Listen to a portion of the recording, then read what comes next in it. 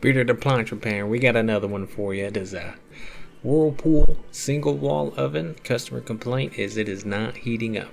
Um, what I always do whenever I come to an oven and the customer complaint is it's not heating well, I start the broil and I start the bake and I check both. I make sure both bake and broil are both working or not working.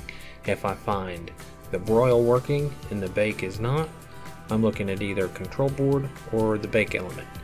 If the bake element doesn't work and the broil element doesn't work, I'm looking at this fuse that we are covering in this video today. Um, both bake and broil do not work, so we're going to get into the back of this thing, check out that fuse, make sure it's good. First thing we got to do is take off these side trim pieces. These cover the screws that hold the oven into the cabinet. Um, one screw on the left, one screw on the right, then you can get those trim pieces off.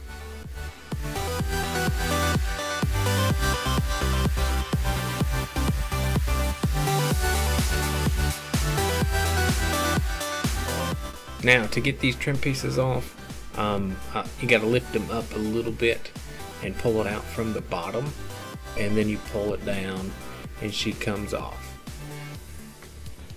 And yeah, we got it done on the right, we're going to do the same on the left. And whenever I pull this one down, I do break it a little bit. Um, I did something and somehow it broke off. You'll you'll see it here in a few. And that piece there. So that came with it whenever I pulled that off. Um, not a big deal though. I put the trim back on at the end of this and it fit pretty good. But anyways, trim pieces are off. We got two Phillips head screws on each side. Um, we pull those out and then we can get the oven out. And this is the fancy tool to pull these ovens out by yourself.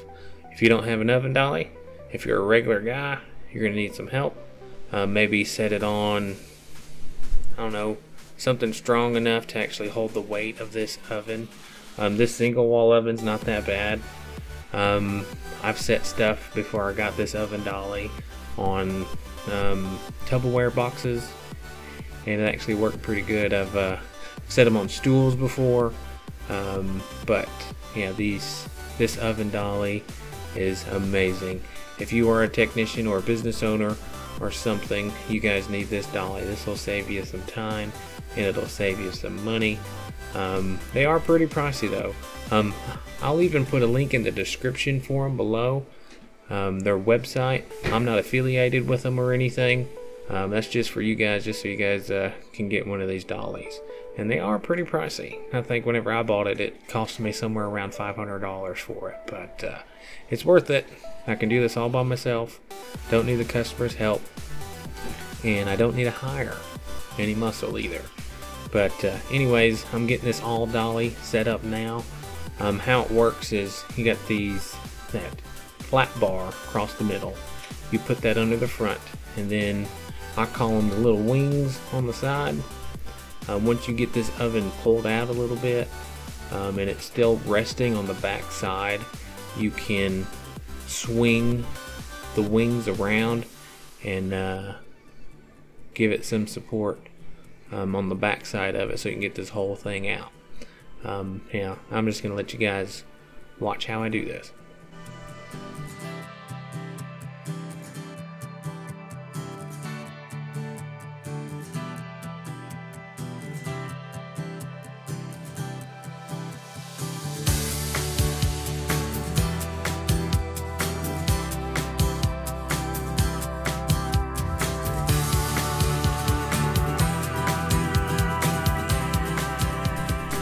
Alright, now in a normal situation, this piece of wood would not be underneath um, this oven.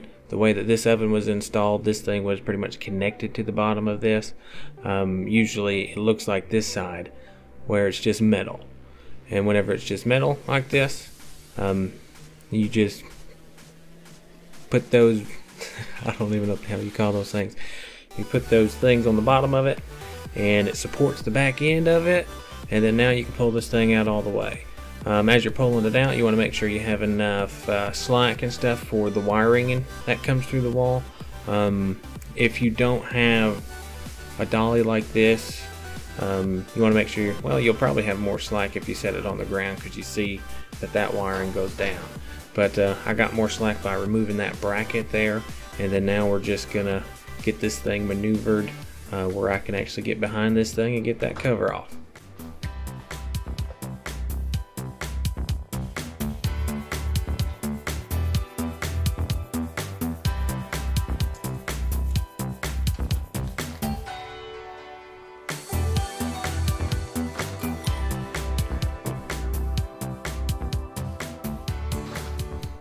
Alright, now we're behind this oven. We're going to be getting these screws out. Uh, what is it? One, two, three, four, five, six, seven. I, I, believe there's eight of them here. And the best thing to use is a uh, number two square. Um, it fits these screws perfectly. Uh, you'll know what I'm talking about if you're pulling this panel off because you'd be like, man, you need a huge Phillips screwdriver to get this thing off. But uh, yeah, number two square uh, will work very well on these. They hold them very well and they come out pretty nicely. Um, but yeah, we're going to get these screws out and get this panel off.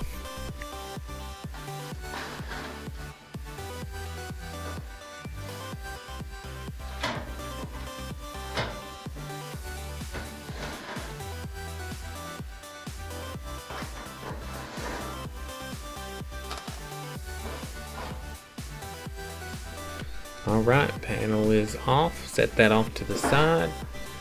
And this fuse I'm talking about is right there. Um, it is wired directly to the broil and bake elements. So when this fuse is out, you won't get that second leg of 120. And uh, putting an ohm meter on it. And she is open. You want this closed. And yeah, I got that in the bag. We're to go ahead and swap that out. But um, yeah, these things are wired up directly to both elements. So these elements, they need 120 on each side to work. So 120 comes from the board, and the other 120 pretty much goes, well, it comes from the board too on the double line break relay. Um, but L2 goes through this fuse. So if it gets too hot, say you're doing a self clean, and next thing you know, your oven um, just doesn't heat anymore. I mean, you still get power or something like that, but it just don't heat. First thing you want to do is look at this fuse. Uh, but yeah, here's the fuse right here. I, I will also have it linked in the description below. So if y'all need it, y'all can go ahead and pick that up. And all it is is just two screws. But uh, yeah, this is easy enough job if you can actually get this oven out. If you can get this oven out, set it on the ground. Um, you may need some help, or if you have this oven dolly, pretty simple job. Um, not as bad as you think. Um, especially these single wall ovens, they're not that heavy. Double wall ovens are they're pretty pretty heavy. Uh, this one here, not too bad. Uh, but yeah, we're gonna put this new fuse on, and uh, I'll even ohm it out for you to let you know what it looks like on the meter. But once you get that thing on, you can put this thing back together.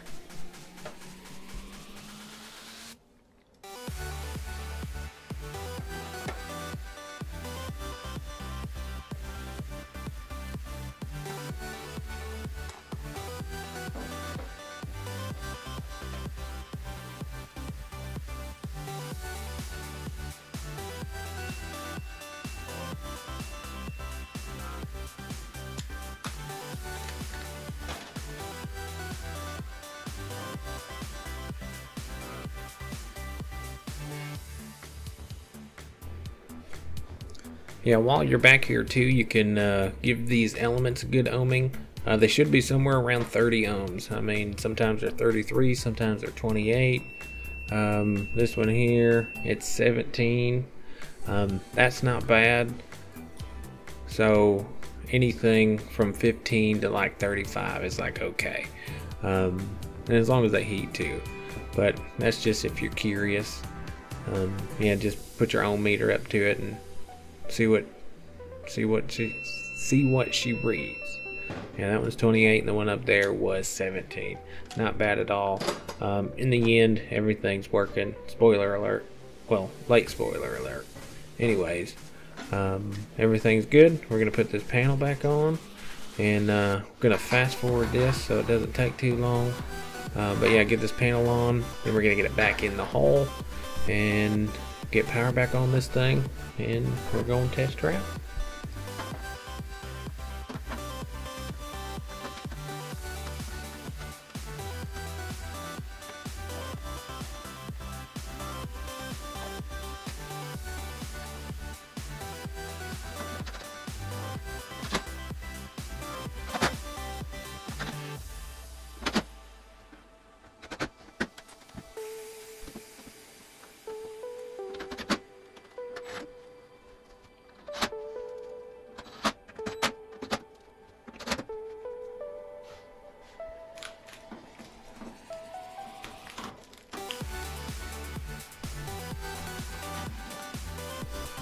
Yeah, putting this thing back together, um, just remember how you guys take it apart. Uh, if you take out this um, clamp here that holds this wire harness, make sure you put that clamp back in. Just put everything back the way you found it.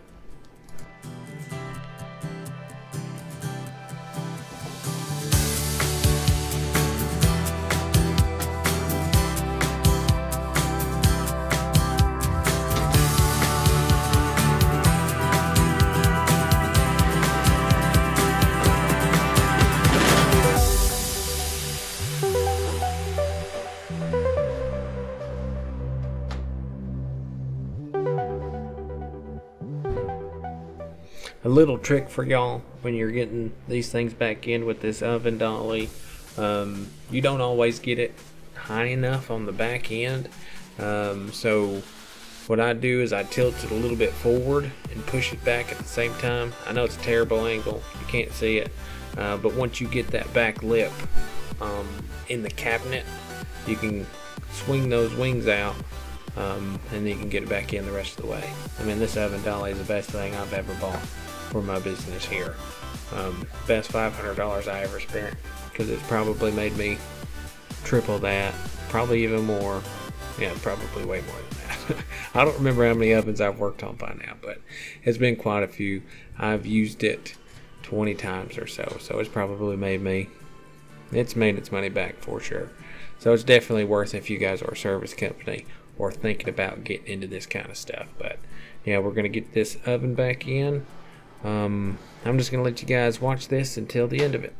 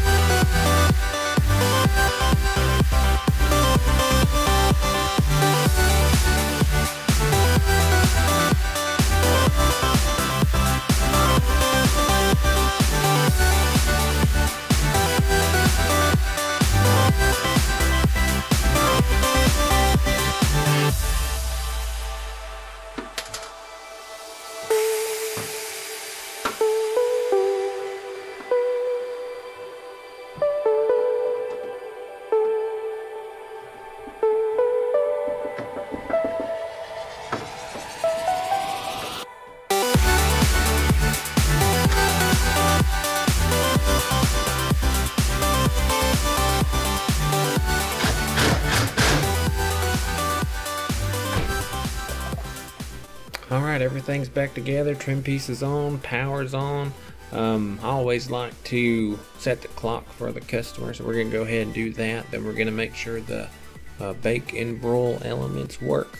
This is actually the part of the video you saw at the beginning of this video because I failed to get uh, the beginning part of diagnosing this thing. But uh, yeah, um, some ovens you actually need to close this door switch for the bake element to come on. And you'll see that here in a few because I'm not feeling any heat right now. Boom there goes the door switch and then I feel some heat. So some of these the door needs to be shut for heat to actually um, reach it. Anyways uh, bake element works broil element works repair is done. So if this has helped you guys I mean give me a like subscribe and uh, I really do appreciate you guys watching. If you got any questions or anything, comment below. I'm getting more and more questions than I ever have before, so I will do my best to get to it. But again, thanks, guys.